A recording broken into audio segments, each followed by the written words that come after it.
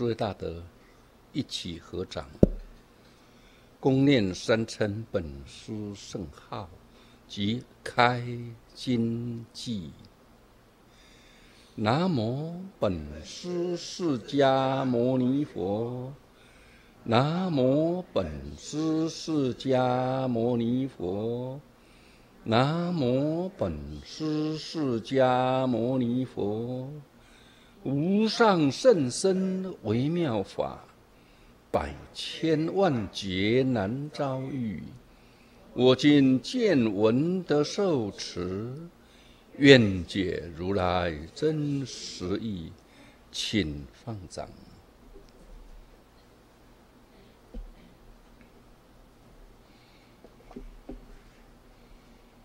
请诸位大德翻开《大波涅盘经》经本第三百九十九页。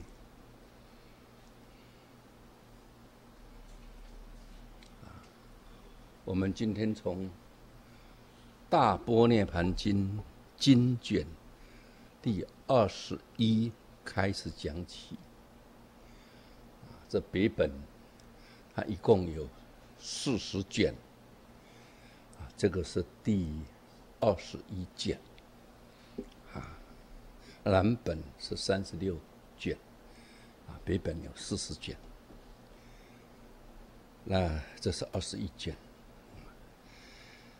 呃，北凉天竺三藏谭无灿奉诏译，啊北凉。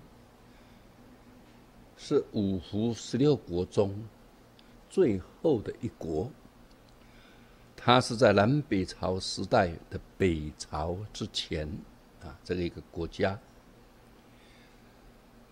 啊，这个天竺啊是主印度啊，天竺翻成中国话是月，月亮的月啊。印度人他们认为，他们世代都有圣贤，所以他们受到圣贤的教化，啊，国民的生活啊，都像在清沐浴在清凉月以下，非常的愉悦呀，啊，安心呐。所以啊，这个天竺就是指印度。在比良时代，有一位从印度来的三藏法师，啊，这精通经历论三藏的法师，名谭无灿。这谭无灿翻成中国话叫法风，也就是精通佛法，对佛法非常的深入，非常的精通。又翻译成首富，他不仅仅精通佛法，又能够护持正法，守护正法，啊！这谭如灿法师奉诏义，是奉北凉王居其蒙孙他的招啊招请而翻译这部经典的，啊啊！那我们今天呢？要讲呢，这二十一卷的这一品是光明遍照高贵德王菩萨品第十之一啊。那这光明遍照高贵德王这八个字，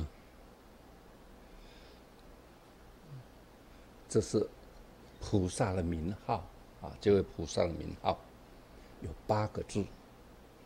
这八个字，也就是涅盘三德啊，得自在无碍啊。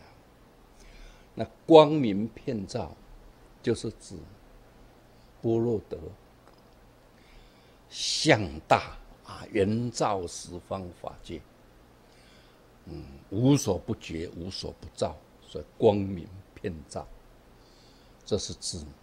般若德相大，那高贵是指法身德啊，冲塞法界，无一不是他所显现。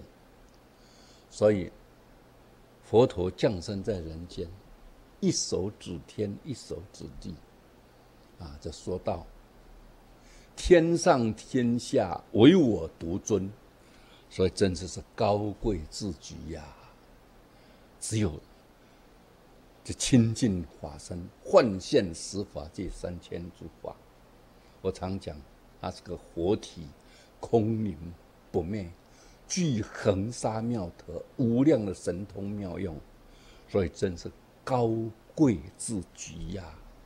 这个是法身德。那德是指用大谢托德，能够普入无量的法界，教化众生，无有障碍啊！所以德啊。啊，能够观机说法，气理气机，度众生从烦恼的此岸、生死烦恼的此岸，到解脱自在无碍的彼岸。所以这德是指用大解脱德。王是自在无碍啊，啊，这国王他想做什么都可以实现，因为他不会受到人家的干涉啊。宰相还是在万人之上，一人之下。那这个王，他只是在万人之上，没有在谁之下，所以叫天子啊，天之子了啊。所以王有着表达的意义。那菩萨是是觉悟的有情众生，又叫做大道心的众生呢。菩萨，而这位菩萨啊。的名号，这法身德、般若德、解脱德、自在无碍，能够普度有情呢。啊，那这是这一品是第十之一。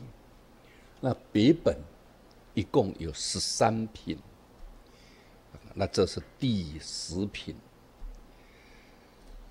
那蓝本有二十五品啊，他把它分。内容一样，可是他把它分的比较细啊。那这个笔本只有十三品，这是第十品。那第十品有六个部分，它分成六个部分。那这是第一个部分，所以称之为第十之一呀。那这一品光明遍照高贵德王菩萨品这一品。是因为佛陀啊，以其说法的主要对象啊，佛陀跟他对谈说法的主要对象，所以以光明遍照高贵德王菩萨品啊为品名品题，因为这一品是佛陀为他啊对谈开示。来解众生的疑惑的。那这篇的内容在解说修学《涅盘经》的十四功德，十种功德，而这每一种十种里面，每一种又各各具啊数种，所以不仅十种功德，数十种功德啊啊，但是统摄成十四功德。啊以及探讨涅盘是否无常？这涅盘是不是无常，或是一得永得，一劳永逸？啊，在这里解释这问题，让大家知道涅盘一得永得是一劳永逸啊，让大家升起绝对的信心呢。那以及说明到一禅体与佛性的关系啊，这一禅体可不可以成佛啊？可以一禅体有佛性，也可以成佛。这个是在这《大般涅盘经》才有说明到的啊。还有呢，这个涅盘一般呢，我们讲有偏真涅盘，有真谛涅盘，有中道无住处涅盘，还有我们这无上大涅槃的三德涅槃，它不一样啊。它不一样的地方，而且说明这无上大涅槃不是灰身泯智啊，而是现世得到自在解脱。佛生生都能够开显这，哈，即法身，即般若，即解脱，各具常乐我净，教化众生的这种功德，啊，所以如来释迦牟尼佛。毗卢遮那如来的应化身到我们娑婆世界的啊，蓝蓝莲湖南莲湖体这个地方教化众生。你看他是活生生的啊，他视现三德涅盘啊，所以在《法华经》里面，释迦牟尼佛把他的应化身，他在娑娑婆世界视现成佛啊。啊他的本尊是毗卢遮那如来啊，那这只是释迦牟尼佛在娑婆世界的应化身现前而已啊，集合现前而已，充满了虚空法界呀。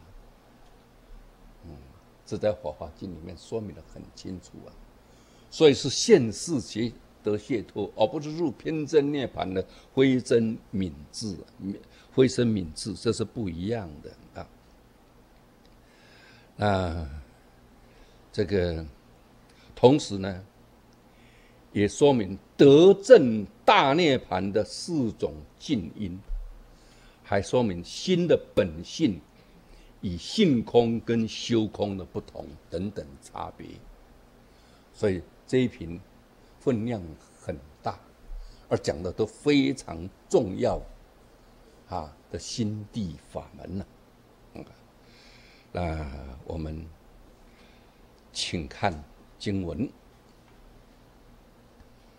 二十世尊告光明遍照高贵德王菩萨摩诃萨言：“善男子，若有菩萨摩诃萨修行如是大涅盘经，得十世功德。”不以声闻辟支佛供，不可思议，闻则精怪。非内非外，非难非易，非相非非相，非是世法，无有相貌，世间所无。何等为实？一则有无。何等为无？一则所不闻者。而能得闻，二者闻以能为利益；三者能断疑惑之心；四者慧心正直无屈；五则能知如来密藏，是为五事。何等不闻而能得闻？所谓甚深微密之意，一切众生悉有佛性，佛法众生无有差别，三宝性相常乐我净，一切诸佛无有必进入涅盘者，常住无变。如来涅盘非有非无，非有。呃，非有非无，非有为非无为，非有漏非无漏，非色非不色，非名非不明，非相非不相，非有非不有，非物非不物，非因非果，非代非不代，非明非暗。非出非不出，非常非不常，非断非不断，非始非终，非过去非未来，非现在，非因非不因，非入非不入，非界非不界，非十二因缘非不十二因缘。如是等法甚深微密，其所不闻而能得闻。复有不闻。所以一切外道经书，是毗陀论、毗迦罗论、魏氏诗论、迦毗罗论，一切咒术医方记忆，日夜博数，心术应变，图书千计。如是等经，初未成文。秘密之意，今以此经而得知之。复有十一部经，除毗佛列，也无如是深密之意。今因此经而得知之。善男子，是名不闻。而能得闻啊！这尔时，世尊告光明遍照高贵德王菩萨摩诃萨言：啊，这耳时是指释迦牟尼佛为在会的菩萨摩诃萨以及大众。说明成就无上正等正觉最圆满的佛国，要修行这菩萨五行呢，啊，啊也就是圣行、幻行、天行、婴儿行、病行。那佛陀为大众说明了以后啊，迦叶菩萨这是跟佛陀报告。我听了佛陀的说法以后，我坚定信心，能够行持五行。这时候佛陀就告诉迦叶菩萨：“啊，他说这五行的因缘，这早就已经成熟了。不仅仅迦叶菩萨能够行持五行，在与会的大众里面有九十三万菩萨。”都可以行持这五行呐。那今天佛陀开示这五行，要鼓励还没有发起五行的这些修行人啊，以及二圣人，要花心行持此五行呐。啊，向这些已经行五行的菩萨学习呀。所以你们有一问，这里有这么多菩萨都已经在实践这五行了。你们不怕有疑惑，啊，啊，佛陀跟大家说明了这五行的殊胜以后，同时也证明与会中有这么多人已经在修行这五行，要成就无上菩提果啊！所以这个二十四尊就是把这五行介绍完了以后。接下来，佛陀就告诉光明遍照高贵德王菩萨摩诃萨言呐：“啊，这位菩萨也是法身大士啊，所以是菩萨摩诃萨，是大菩萨。告诉他善男子，若有菩萨摩萨修行如是大涅盘经，得十世功德不已。”声闻辟支佛供啊，啊！你看，不仅这五行菩萨的五行成就无上正等正觉，吃住我们大波涅盘经，而且已经有这么多菩萨在实践了。啊，佛陀在为这是以得光明遍照高贵德王啊菩萨正。法身般若解脱的菩萨摩诃萨啊，为他说明，他是当机众，因为他的成就是涅盘三德啊。这涅盘三德也就是这他菩萨这个名号，就是他啊一心所要追求的。所以这涅盘三德啊，就是佛国啊，无上的佛国啊，每一个修行人都想要证德啊。啊，都想要正德啊？怎么正德呢？佛陀就告诉你看，名号就是这三德涅盘的菩萨啊，以他为当机众，告诉他，假如有菩萨摩萨修行如是大涅盘经。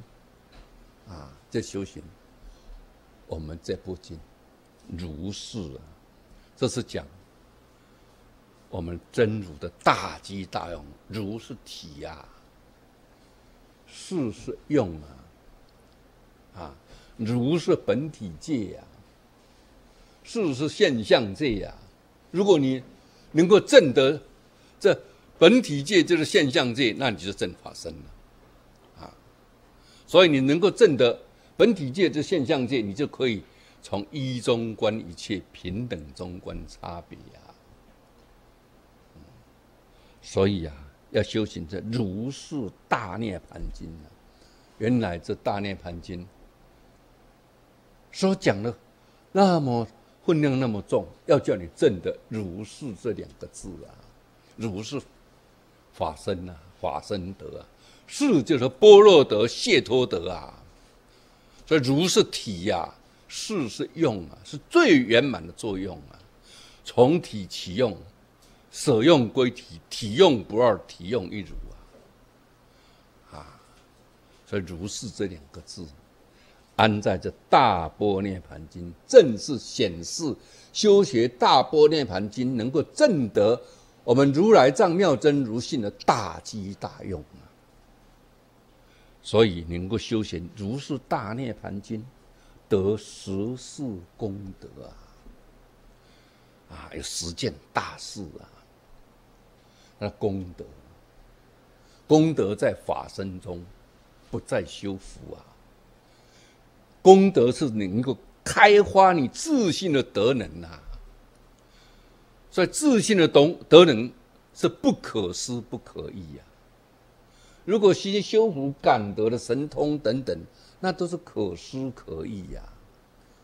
如果是你感得你自信开显出来的功德，功德在法身中，那是世事无碍呀，一毛端现宝王刹，是吧？佛在里面转大法轮呐，大小无碍啊，过去、现在、未来同在一念间呐，这是自信功德才能够做得了啊！一念间延照浩瀚的十方法界啊，无所不达，这是自信才有的，这功德是不可思议啊！六祖慧能大师在《坛经》里面把这功德解释的非常的详细，你修学的入阶。内心谦下为公，外形以礼为德，这是在实践上表现出来的样子啊。但你真正成就的时候，那就是大机大用啊。华严经所讲的那十玄门，就是自信功德的开显，就是如是的妙用啊。所以他可以得到这十世的功德。所以这十世啊，哈，如果要广说，说不尽啊。嗯，就像。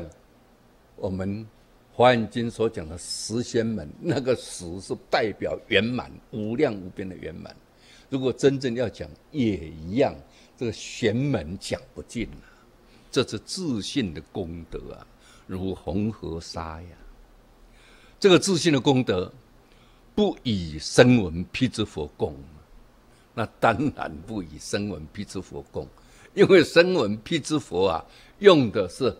啊心意识的牵流啊，啊，而功德用的是佛性的，是是真如啊，是佛性啊，不一样啊，嗯啊，所以心意识的牵流还有思维啊，啊，所以心意识的牵流有益生生，所以如果你没有正法身，有益生生，全教菩萨思回向他，还在心意识的。千流中，还是心力是不离心力事啊。十回向的菩萨，他他修习两边分别子修中观，还是心力事啊。所以他有一生生啊，所以他一生生，这思维一动，人就到了啊。有的数量可以硬化数量很多的一生生，但如果你是用佛性，那不需要众生有感，菩萨有应。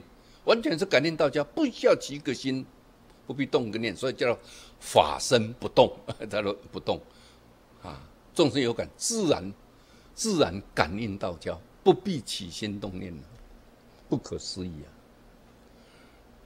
啊！啊，同时也可以自己无所住而生其心，一念请就到任何地方，完全是得大自在啊！所以叫王啊，解脱得啊，大自在，没有一件事情有障碍。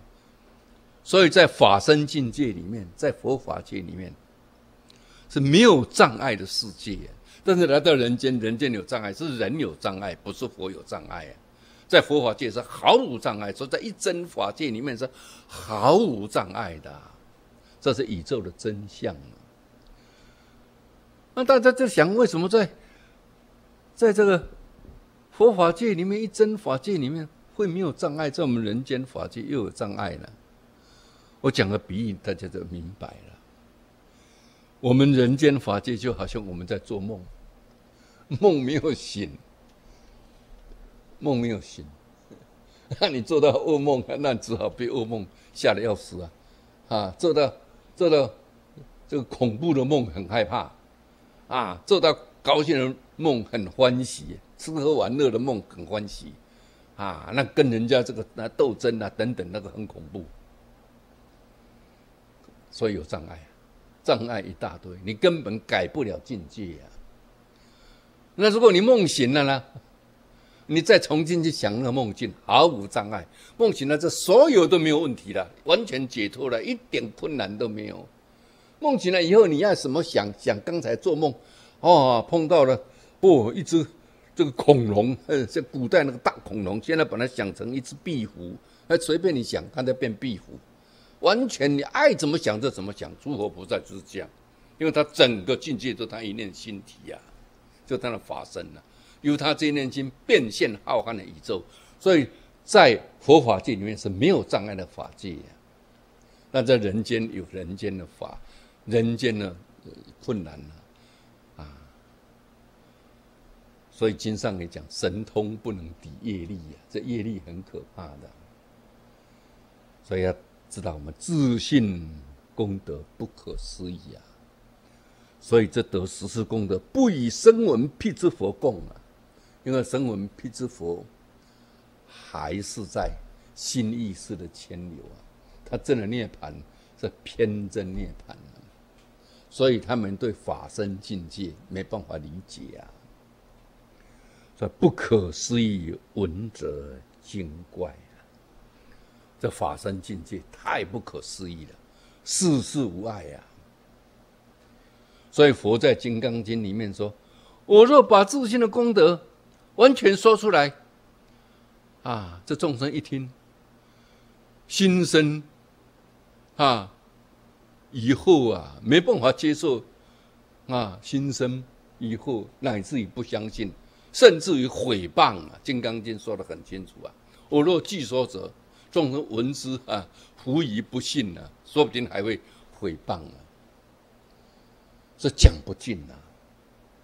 我们华严经所讲这四世外的境界，它是那个分量是非常小，非常小啊。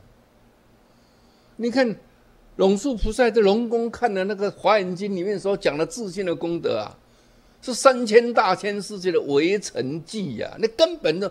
我们看都看不完呐，我们啊，所以只能够请一个最小本的啊，那那八十花言呢，最最小的，嗯，好，你看我们有八十花言，有六十花言，有四十花园，啊啊，净空老法师把八十花言跟四十花言合在一起，起名叫九九花言，那个量还是很小很小啊。龙宫那个是三千大千世界的围城记，把它磨成围城，一粒围城是代表一个围城，你看它有多大？那个功德就是讲不完了。我们真叫恒沙妙德，讲不完呐。啊，你看我们，你看，你造了某种业，你不要看蚂蚁那么小，它也是造了跟蚂蚁相应的业啊。这这这中间的业是怎样会变成那蚂蚁的因缘？这只有佛知道，我们都很难理解，怎么会变成那个蚂蚁？但是那个蚂蚁，你看它的活动，它也跟我们一样，有眼耳鼻舌身意，它也会思维。你看，你蚂蚁再碰它一下，它那静一下，嗯，开始再继续行动，它一样会思维啊。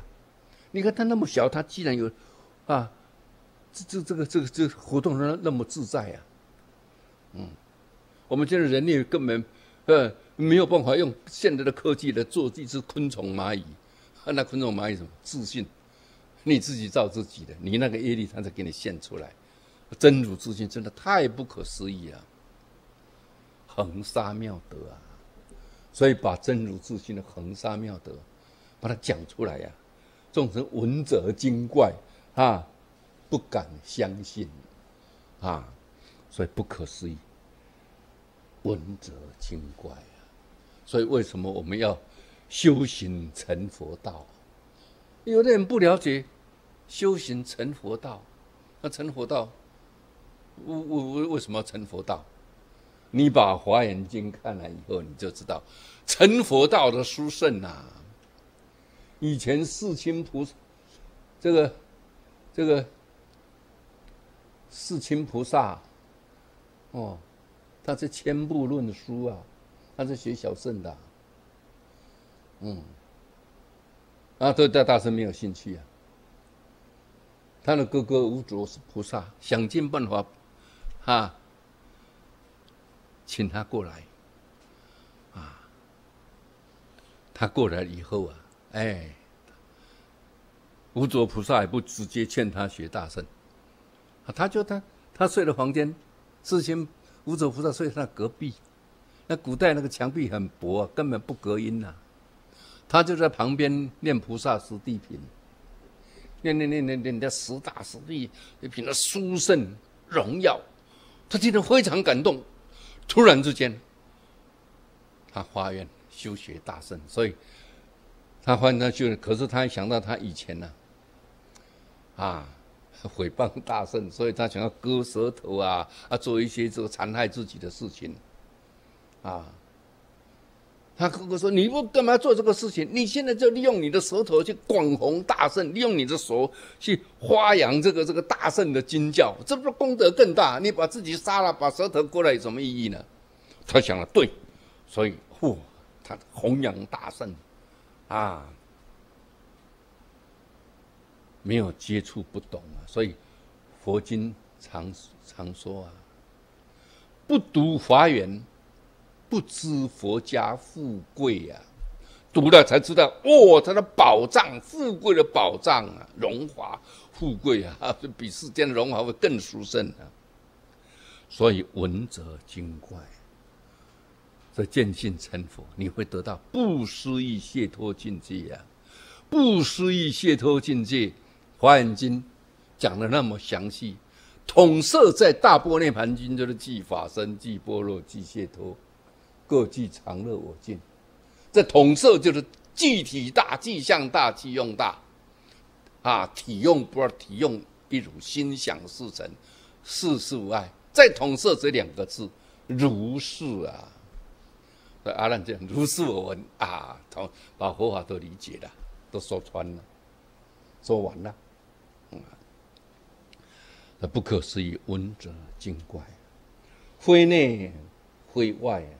非然非异啊，非相非非相，而这佛性不在内外中间呐，啊，内外之中间是你起分别啊，没有一法佛性没有大小，小而无内，大而无外，你要找佛性的体找不到啊，所以六祖慧能大师说：“本来无一物，何处惹尘埃？那小而无内。”所以他没有内外，没有内，那没有外，那大而无外，对不对？他整个虚空法界他那幻现出来的东西啊，所以一多相融啊，一多不二啊，大小相融啊，嗯，所以意为成如来可以在里面转大法轮，可以戒指可以纳须弥啊，大小圆融无碍啊，不可思议啊。所以它不是大小，不是内外，啊！六祖慧能大师本来无一物，何处惹尘埃？慧可大师说：米心了不可得，对不对？怀远禅师说：“说是一物记不中。”啊，真的非青黄赤白大小方言，哪里有内外？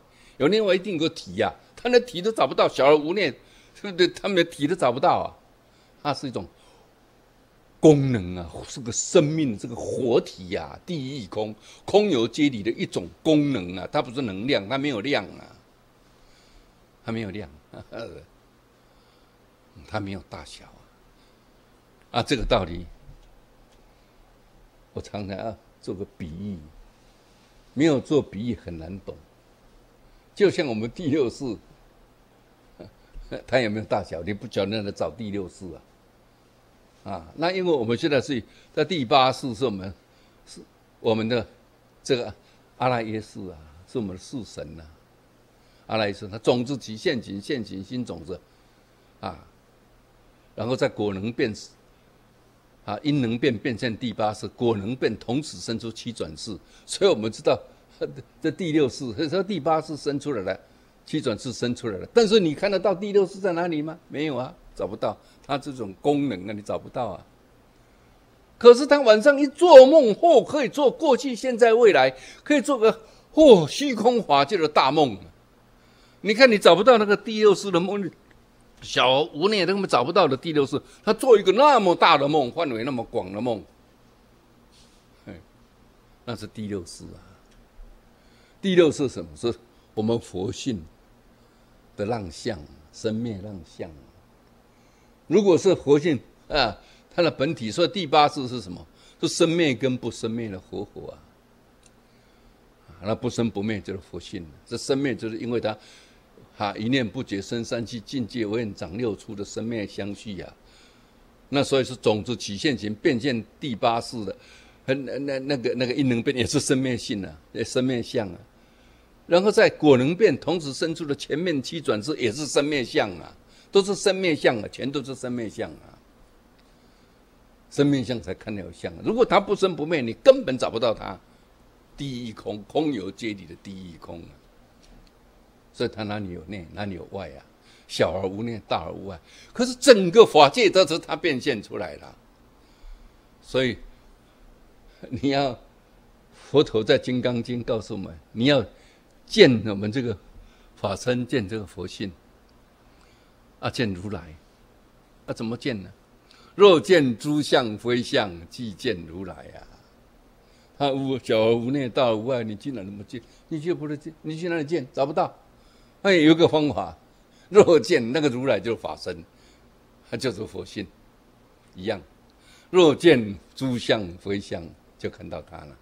这一切五蕴六说出十八界皆是相啊，非相全相即性，全是即理啊。如烟见到烟，知道它是火啊，它当体即空啊，它变出来的幻境，像梦醒过来，刚才那一大捧的梦境，原来就是第六世。啊，你第六是找不到那个梦，原来就是他变的。第六是你绝对看不到了，这这会青黄赤白大小，你去哪里看到？那那个梦就是他哦，醒过来就是他啊！你要这个跟那个小而无念、大而无畏的法身在那里看不到，哎，他变现了。我们现在正报身经、依报世界，这前提都是你自念法身这个一心变出来的境界。但是你现在以为它是实有的，你什么时候才能够见诸相非相啊？这是全相即性的全是即理啊！性相不二，那就见到他了，这就见到法身了。啊你要找法身体，小而无内，大而无外，没有内没有外，你这哪里找他？怎么都是他，他的圆满的全体就是他。所以叫一就是一切，一切就是一呀。所以非然非异呀。那所以你要看到这法身。你要知道，这认识这个法身，啊，要能够悟了这个法身，非难啊，也非易呀，不是那么容易啊。因为在非青黄赤白大小方言，米心了不可得，哈，你要去哪里找它？你找不到啊，你有心去找都找不到啊，啊，就好像。你要要去看你自己的眼睛，你你怎么看？如果离开了镜子，你怎么去看的？只能够看到哦，你所看到就是眼睛看出来的。但你要看到你自己眼睛，你看不到啊。嗯，那我们别开镜子不谈，你要用这样子来看自己的眼睛，怎么看得到啊？所以你要看到自己的法身，你去哪里看呢？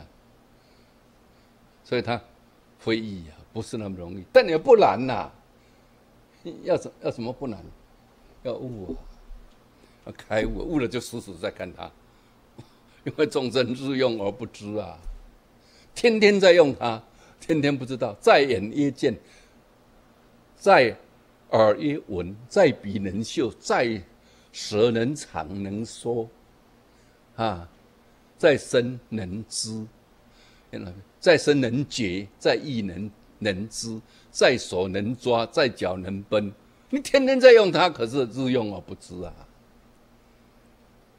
所以以前一位将军啊，他看他禅宗，这日用而不知，嘿，他说这什么东西啊？日用而不知，他就去问。玄沙师辈禅师啊，啊，禅师啊，什么是日用而不知啊？啊，玄沙师傅，哎呀，你老远来，啊，就试着切盘水果来，来，先用个水果，来来来，来吃水果，吃吃吃，吃。这个，这这个将军，啊，一面吃着，哎，禅师啊。什么是日用而不知啊？但是是，哎，这甜不甜呢？嗯，很甜呢，很好吃，很甜呢，很甜呢。哎，禅师啊，什么是日用而不知啊？啊，那很甜，你就多吃两个嘛，多吃几个，多吃几个。啊，啊，将军说：“哎呀，禅师，我是来请教什么是日用而不吃啊，我不是来吃水果了。那这个就是日用而不吃，对不对？我们天天在用它呀，所以也不难呐。”对不对？你天天在用它，你看你在用呢，见性你看得到吗？但是你真的就看到，那你要看到见性的那个见去哪里找？那闻性你真的在听呐，可是你要找那个文信，你去哪里找啊？所以观音菩萨用反文文字性呢，用将来看到它来见性啊。如果我们往外去演，那就变成事了，而事了。如果你不要去演那个声音，反文文文字性，那个声音原来是文信，啊，文信都找不到它呀，他不晓得在哪里呀。但今天他可以听得到这个东西是文文信变出来的，文性才会会把会把这个声音变成像啊，啊，那不文性才有这个能力把它变成像，所以那个声音它就是文性跑出来，你不要去抓那个声音，一直在看着那文性文性文，那这是文性显出来，闻到最后。尽至双明，啊，那就入流王所了，手入寂极了，动静二相了然不生了，这样慢慢一步一步一步这样，一直到破四因正真如。嗯，但是说你要闻修反闻自信，你也要懂这个道理呀。所以也非难非易呀，那也非相非非相，啊，非相什么？体大，即体大，非相。那体，你去哪里找他？毕竟无有一法可得，真空绝相。这真空绝相，所以才用非青黄赤白大小方言，说是一物即不中。真空绝相，但这非非相啊，对不对？你每天所见到的青黄赤白大小，都方言是借着根尘接触缘，它变出来而已啊。它随时都都都都在你六根门头啊起作用啊，非非相啊，所有都是他，没有一法不不是他，心法色法都是他，都是他变出来的。只是在我们有情众生，我们能够了解啊，我们有情众生啊，这个自信我们称之为佛性。嗯啊，其实佛性、法性、真如都一样，同样一个体性，它变成了心法，变成了色法，就像你晚上做梦。那个第六世变成了有情众生，变成了无情众生，变成了山河大地，它都是第六世变的。但是，为了呃，让我们容易体验得到，对我们有情自己称叫佛性，啊，其实佛性就是法性，就是真如，完全一样，就是法身，完全都是一样啊。所以非相也非非相，没有一法不是他变的。温六说是八戒七大，你的所有的感觉，所有的分别都是他的，全都是保出来的，到处不是他的。随念一法，无有不是佛法呀。啊，所以有个有个净土行者，那净土行者。还要提升，我常常劝大家要提升，啊，从四相阿弥陀经提升到阿弥陀经要事命中大师的，他是讲表法的，有修因才有果，啊，修八正道才有八功德水，对不对？修因才有果，缘起法嘛，从这里在提升阿弥陀经。要解，这是般若了啊！偶益大师讲写的，再来，优西法师讲《阿弥陀经》圆中抄，以天台的境界在解释，再提升《阿弥陀经》书抄跟演绎。书抄是啊，那个莲池大师啊，他这个华严境界在解释提升，一面心念佛啊，用这句佛号。他在觉醒法门来复烦恼啊，有像大石压槽，或最后啊，然后呢，呃，功若啊，你不接触在静中，那即法身即波罗，那个波罗是观照，是实相波罗，呃，那个法身也就是当体就是实相波罗。那当你在活动，在根尘接触的活动，在动中的时候。呃即法身即波罗，那个波罗全体就是观照波罗，明明白白、清清楚楚啊，处事待人接物啊。但是这个在洞中了不容易啊，你尽中最起码你能够知道这个是怎么一回事啊。所以佛法有很多都是你感受到的时候，你突然就明白了。真的，我我觉得我读了《大波涅盘经》受了很大的受益啊。很多都变成自己的感受啊！以前都不如刹刹，实相波罗是什么？哦，他公开吹个转坡，他就不知道它是什么。真的是这样啊，对不对？但是你一下就是啊，原来那个就是不实相般若，同时那也就是法身，所以法身本身就是实相般若，所以叫做即法身即波罗。了解我所说的意思吗？那就是定慧一体，它两个完全一体了。那个定就是体呀，空的。那个慧是它本有，定慧是一体的。那你没有一体的时候，等值的时候就有空，空里面有智慧，但它合在一起，空就是智慧啊，无二无别啊。了解我所说的意思吧？啊，所以我们修学佛法，那个静态中的静坐很重要。所以这部经真的很殊胜啊。也许我这个学习这一部，种种就在里面一直不断的突破。啊，所以佛陀在讲赞叹这部，这是千真万确，啊，所以你只有懂了懂了不是你你没有尝过，你根本不知道它是什么。这个可以让你完全知道啊，原来是这样啊。那所以啊，无有相貌，世间所无，那 你怎么去看？你在世间怎么去看？你可以讲了一大堆的，这都是哇很多妙理，嘿，但是你都唔知，都是唔知。就是不知道世间所无啊，那在这里面啊，底下就说到何等为实？一则有无，何等为无？那这十四功德都是你修行大涅盘经受持读诵为人演说书写。书写就是流传，因为古代经书没有印刷，没有印刷书，都是用手抄的，抄了送给人家去研究。啊，是受持书写，就是等于送给人家同传，演说为人讲讲说。那一面你研究，一面讲说，解行相应，解行并进，有三宝的威德力加持。啊，让你能够从解悟而入相应，如见烟知道火啊！啊，所以让你能够刹那看到这样的一幕。虽然不能一直永驻啊，哎，不见呢，不见得你你你天天都会有这个境界现前呐，对不对？但现前的时候你就认得他了，而且在现前的时候，菩萨告诉你就是他，就就就让让你很清楚啊。所以大波那边有个好处，可以让你知道，或者说即使你现起来，你也不知道它是什么，你知道吗？也许你现前过都不一定，但是你根本不认得，你也不了解。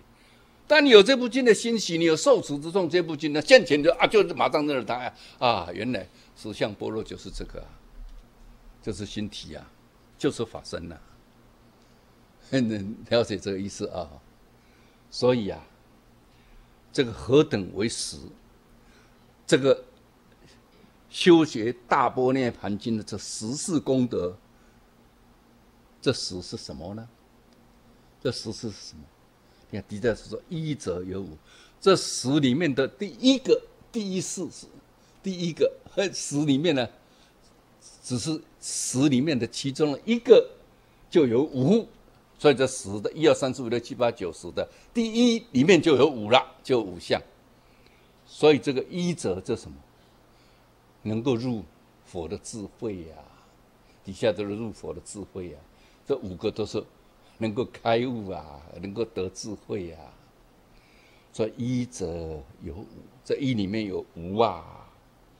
那这五个是什么内容呢？所以你看，这这五个不是十四功德的五个哦，要记得哦。这这底下讲的这五个，那只是呃十四功德里面第一项里面，这一项里面就含着五件事情，这样了解这个意思了。就五个，所以你想想看，这十项如果每一项都有几个？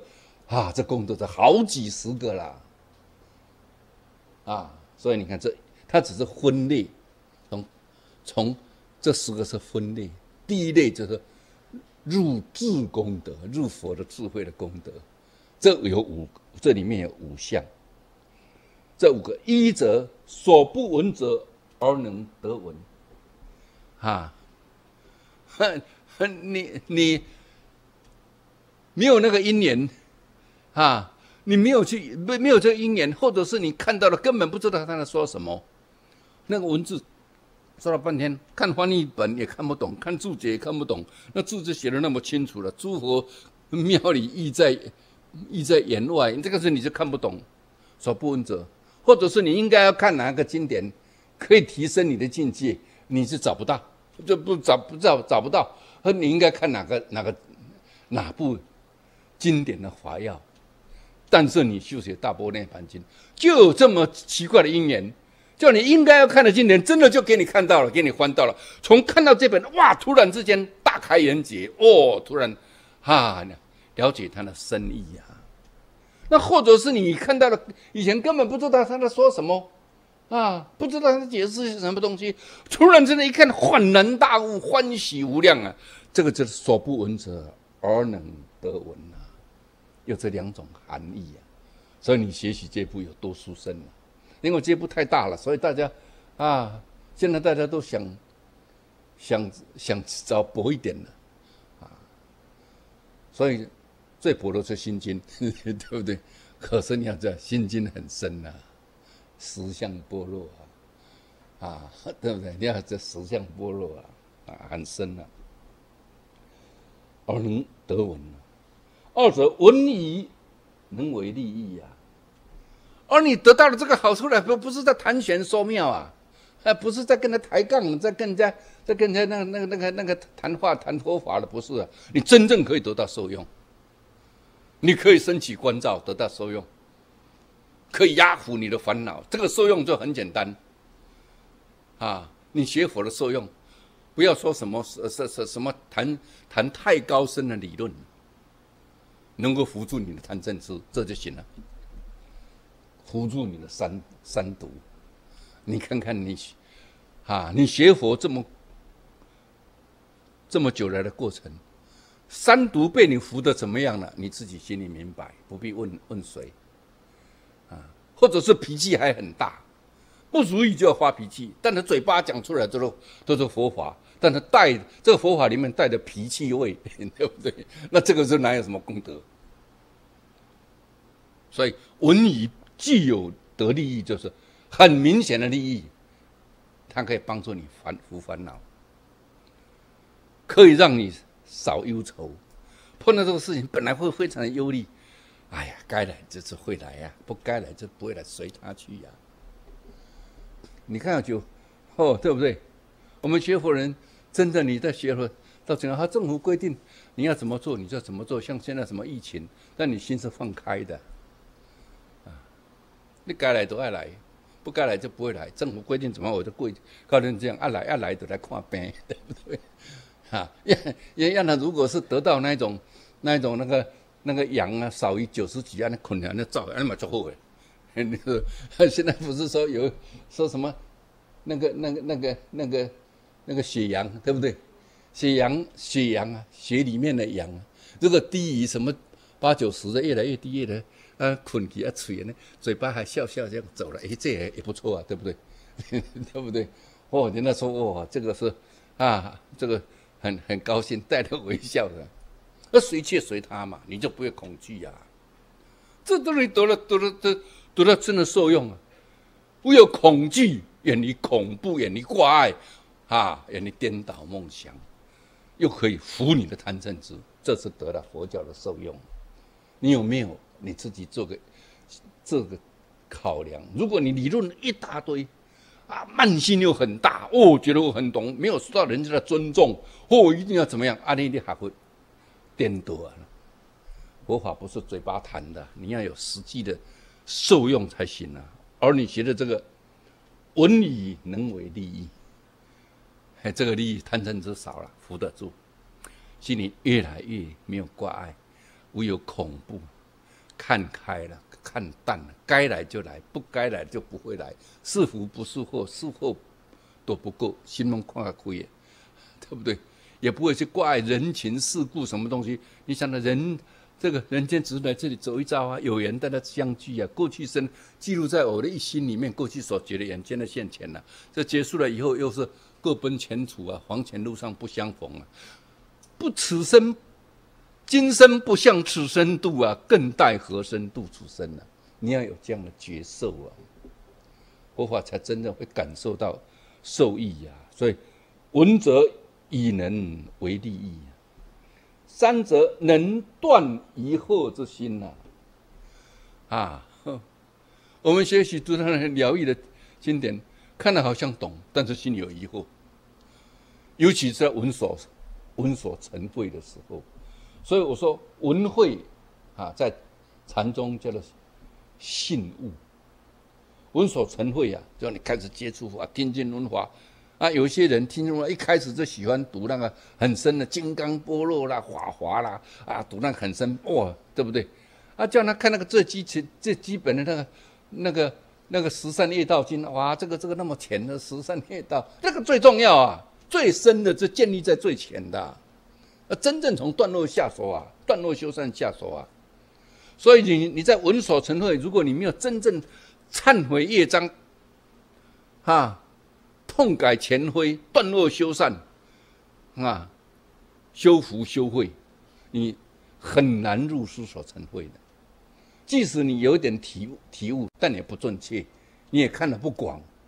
有时候你一句话，它是很广的，但你只有体会它一点点一小包，你就觉得哦，体会很多。其实外面更广啊，他体会很广啊，啊，所以当你在。文会的时候，或者是让你在私会，就是觉悟的小小的觉悟，还是很浅的觉悟，那有疑惑，懂是懂会懂，好像懂，好像不懂，那浅的觉悟，在文会，所以在文会的阶段里面呢，啊，你虽然懂很多佛法，三藏十二部经典读很多，但是你心里充满了疑惑，但是嘴巴讲的好像没有疑惑。内心有疑惑，你自己明白，这个东西啊，啊，骗不了别人的。你自己有没有有心，你自己知道嘛？那所以一定这个时候要实践。那接下来你到了到了解悟前解悟，也是一样有疑惑，但是已经哎觉得嗯，已经看了解这个意思了，但不是深入。啊，这个时候就是一定要用功。广修福慧的资粮，尤其忍辱波罗蜜啊，碰到逆境界一定要忍，嗯，然后修啊菩萨的六度，修福慧的资粮，将来累积自己的福德因缘，慢慢就有浅的觉悟入深的觉悟了。哦，对这实相的道理没有疑惑了，你了解了。哦，什么无声，什么现象界的本体界，这这这这通通理解的，但是你没看到，嗯，啊觉悟你没看到，啊，你看到的都是有，都是无一六尘。这个佛法很奇怪，你没看到就没有看到，你不理解就叫不理解。这个时候你觉悟的时候，千万不要把以为觉悟说自己证悟，但很像，因为他思想是觉得很玄，很理解这些道理，但是你看出去的就是财色名食睡，你身见我执还是很重，啊，所以这个时候要赶紧把你觉悟无声的道理、空性的道理来关照理想，这个时候这是要用功啊。我常讲，这个时候的阶段是知难行易，你要懂这道理不容易呀。啊！不要轻易就啊把它当成是正量啊！赶快用功，用功只问根源，不问说，一直到某个因缘、某个因缘呢？啊！如果有些你在禅定中，啊，你到了定慧等次以后，啊，定慧等次，你在禅定坐禅能够到达定慧者呢，清清楚楚，完全清楚，完全像入定一样的这样，哦，听得明明明白白，时间过得很快，像入定一样。那个以后。后，而且你你正在实践，等那个就是六层说法，哪一个时候你就啊，突然之间，也许在看清，也许你在跟他讲话，两三句话，哇，给你看到了，见性，相貌见，如烟见，知道佛，看到这个。因知道他的佛，那真的是全相即性。说看到了，原来这个法界全体都是空性的东西。这眼前的五阴六路说是十八界一动哈甲康，你心里明白。你以前没有看到了，他的你现在看到了，对不对？看到呃这这哎呦，我说明白了，但他会退掉，所以你才有个比例，才有一个对比。哎呀，那个摩起，对不对？你才知道以前没看到，因为他会退掉，啊，退掉又再回来，回来又给你看到了。哦，原来是这个样子。相貌见，见性；相貌见，看得更清楚。全相即性，全事即理，事理不二。如烟，看到这个烟，知道有火；看到这个五音六路说出十八界，知道它就是性了。所以这个叫见诸相非相，已经相应你见如来了，了解了。这就这就入修所成慧啊！你修行而来的。这是真正的在佛经里面，在禅宗里面讲叫正悟，已经不是解悟了。所以到了相貌见的时候是大悟啊，是大悟啊，是正悟的大悟啊。我们在六祖坛经里面很多禅师都大悟大悟，对不对？相貌见。那如果是大彻大悟，那那了了见了，菩萨了了见，即法身，即般若，即解脱，完全看到了。那才能够保得住，念念保得住啊，那就在更上一层了。只问耕耘，不问收获。你好好的把这部大部《涅盘经》修学，突然之间，你这这个东西都都是很奇怪的。所以，所以，所以《华严经》讲的是很清楚啊。但观十劫因缘呐，你就要去实践啊。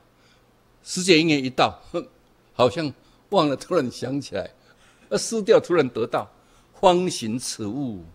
不从外得，你自己圆满具足，一点不差，一点不缺啊！真的叫做塔破铁鞋无处觅，这得来全不费功夫啊！你在你身上身心就是啊，何必去找呢？所以在这里能断疑惑之心呐，你所有的疑惑都断除啊！那逝者慧心正直无奇呀，啊，慧心能够观空，你像般若观照啊！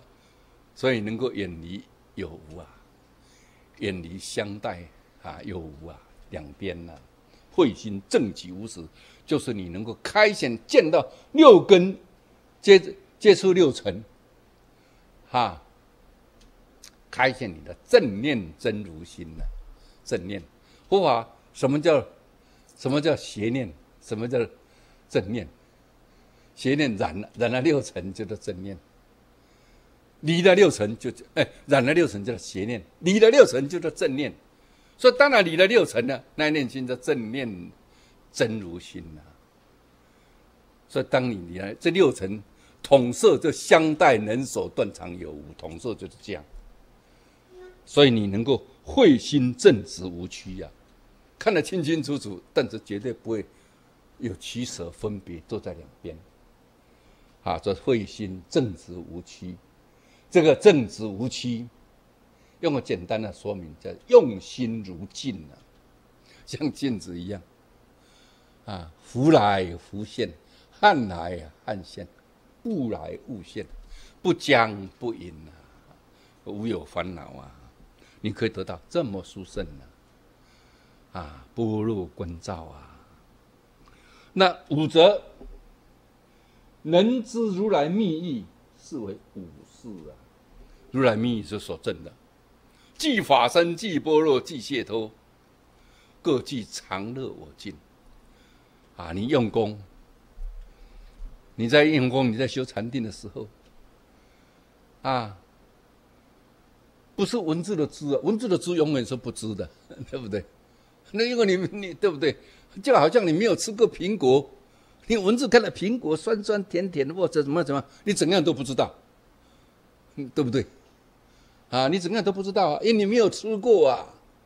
但你只要你吃过一口了，嗯，又吞进去了，以后你不用在苹果含在嘴里面，你就知道它的味道了，对不对？佛法就是这样。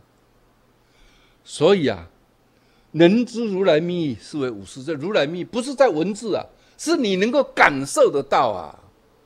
所以你如果有修学这大波罗盘经，你可以在禅定中、静坐中，让你体会到即法身即波罗，体会到实相波罗是什么味道啊？能够知道在那种平静的时候，啊，没有变化，常那种安稳、安详、安静、极静、还乐，我有那个体性有啊，空寂的体性呢，啊，清净之无疑啊。不管是多少，你总有尝到了边了嘛，这才叫做能够知道如来密意呀。或者说，只是文字谁谁不会读，读了你就说知道如来密意啊？有那么容易吗？不是那么容易啊！知道如来密都是你要入修所成慧正量才能够知道知道如来密意啊，不是在解量啊，解量永远不知道的啊。所以我刚才举一个例子，很简单。你没有吃过苹果，你写的再漂亮的苹果，你就是不知道，对不对？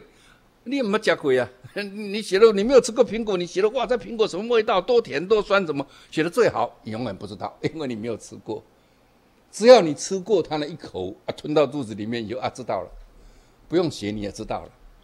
所以佛法的秘密，你要自己去探知道啊。那哪一部经那么多？那 我到底用哪一部可以探知道这个味道？哎，我告诉你。同时还跟你说的这么清楚啊！前面讲大波罗蜜经的殊胜，在这里再跟你强调、跟你说明啊，能知如来密藏啊，如来所证的密啊，秘密相应啊。所以六祖慧能大师说：“如若反照，密在如边呐。”你这反照，就你要相应，密在如边呐，啊，而不是去外面研究道理呀。所以这是五事。在这五事里面，第一项是何等不闻而能得闻呐？什么叫不闻而能够得闻呢？啊，所谓甚深微密之意啊！一切众生悉有佛性呐！啊，甚深微密之意啊！一切众生悉有佛性。我们在想，这这这这这，好像大家都知道吧？啊。啊，我你你随便找一个，你也许他还没有学佛，还没有三皈依的，啊，现在网络也很发达，发达电视有那么多的佛教电视啊，你跟他讲啊，劝他来学佛，他会跟你讲什么？啊，免学啦，心都是佛的，对不对？是不是有碰到这样的人？啊，一定这么多这种人很多啊，他知道什么心是佛，那嘴巴讲了，他根本就不知道啊。所以你不要讲啊，人人都有佛性的心就是佛啊，他根本知其然不知其所以然呐。那等到你修学这一步，你对不对？哈，这个一切众生须有佛性。哎呀，你真的感受到，感受到真的都须有佛性呐。因为我现在在用它的都是佛性啊，那只是现在我起心攀缘呐，有我有我我所啊，所以佛性在我六根门头现出来了，变成乌天暗地，所以我们众生六根门头乌天暗地呀，像太阳被乌云挡住了，投射在乌云底下就是乌天暗地呀，我们就是这样，佛性是有，你会很清楚的感受啊，啊。那如果我心不在往外缘呢？我知道它空性了，我慢慢记得关照你的性了，爱，你的相了，烦恼不生，烦恼不生生智慧呀，贪嗔痴不生，运作起来就是界定慧啊，它只有帮助众生了，那时候的这信界、自信戒啊，啊，所以六根门头放光动地。你就知道佛性真的是天天住在你你你住在你身心作用啊，啊，你就知道我该怎么把佛性开显出来，不是没有佛性啊，只是没有开显出来啊。我天天在用它，它没有开显出来，是因为你攀缘了。你以为外面境界是有的，念念攀缘，所以开不出来啊。我现在借着逆境的修行，慢慢放下这万年，万年放下了，开显出来了。你是过个快快乐乐的生活啊，佛法的受用就在你的身心展现出来呀。所以，一切众生悉有佛性，你真正的理解。所以你看的是一切众生悉有佛性，你看到这这我也知道，对不对？那个没有学佛，他也说心都学佛的，哎，意境不一样啊。一个是你真正感受到啊，啊，你你这境已经做清楚，你真的很清楚啊，你真的会修行的。清楚的人怎么有不修行？就是不清楚才不修行呢。他喜欢谈不修行呢，这个是不清楚啊。那真正清楚的人是一定修行的啊。人生在这个世生命，就是要把它知道了，就要把它开开显出来。知道了不开显，就是不知道，就这么简单。因为你不知道它的好处啊。佛性无量功德啊，不可思议啊。啊，那这个一定都有佛性，佛法生。佛法众生无有差别呀。那这里众生生就生团，所以我们皈依生是生团，皈依生团，一个一个生切，一个生团。但是这佛法生，它是表法的，佛是表体大啊，法身德。法是表相大般若德，身你看他传佛慧命呢，利益众生呢，续佛慧命呢，所以他是表用大解脱德。说是三而一一而三呐。我们还没有学佛的时候，是借借了佛像，借了经经书，借了法师的教导，慢慢慢慢这样一步一步的朝菩提大道来前前进。但是有一天，你突然悟了自信的时候，才知道原来自信就佛法生三宝啊！所以六祖慧能大师在《坛经》里面把佛法生三宝说的就是自信三宝：佛则觉也，法则正也，身则静也。啊！所以我们皈依佛要觉而不迷。我们现在是迷呀，所以要把迷去掉，觉而不迷。到了最后呢，迷去掉了，觉也不存，在离迷离觉即也。言下佛道成，啊，恢复你本来的那法则正也正知正见呢，啊，是正念呢，啊，正念没有染上六尘的念呢，正念呢，而正而不邪，邪人染上了嘛，染上了这五欲六尘呐，起是非啊，起分别啊，所以要正而不邪，啊，归于法。这归于正，正而不邪。等到你正把邪去掉了，嘿，还这这才不能正也不能存，啊，它这这中道，染尽皆不存。这个中道实相心，那是阿耨多罗三藐三菩提心呐。那归身身则清净呐，啊，所以净而不染，以净去破染，染去掉不能纯净。你染去掉，存了净，那是四禅四空啊，四禅的净居天呐。进也不能存呐，两边放下那才真进呐。你要了解这个道理呀。所以大波涅盘经，你修学大波涅盘经，可以通达这个这个道理呀。所以是无有差别。所以佛法僧三个是一体的，三个是一体啊。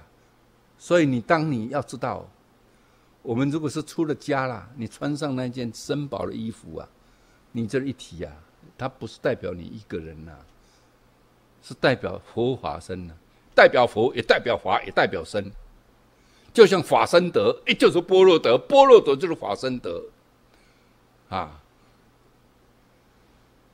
所以那个法身德代不代表佛，解脱那般若德就就是代表法，对不对？哈，实相般若那个身清净无染的解脱德的身，都一体的。所以，所以出战要三千威仪八万细心，因为你是不是代表你个人？你是代表三宝。所以我们的这行为等等要小心了，不能让。三宝的形象，不要让佛的形象，啊，要保持佛至高无上的尊贵呀。从你自己要做起呀，自己要要注意呀，啊。所以这佛法深重，无有差别。我们从外相这样归，到了有一天你发现了悟了自信啊，知道原来这三宝就是自信的体相用。这无有差别。三宝性相，常乐我净。三宝就是法身德、般若德、解脱德，那当然是常乐我净呐。这常乐我净，我前面都跟大家解释过了，没有变化呀。像镜子，忽来忽现，看来看见，净光没有变化，不受污染呐。乐是无上菩提觉法乐，无上涅槃极灭乐啊。我是有这个体呀，但又能够当家作主。这个体叫如来藏，叫了一心，叫真如，哈，嗯，说我有这个意义。那净，它只有一个，没有污染，染净皆理的真净，又只有一个，它没有染也没有净了，只有一个，那是真净。用法界一相，只有它，万法为一法之所应。那我没有第二个可以。碰到他，他怎么不进呢？所以当然是过三宝现象，常乐我净啊。好，那我们今天就讲到这里。好，今天就讲到这里。三宝现象，常乐我净，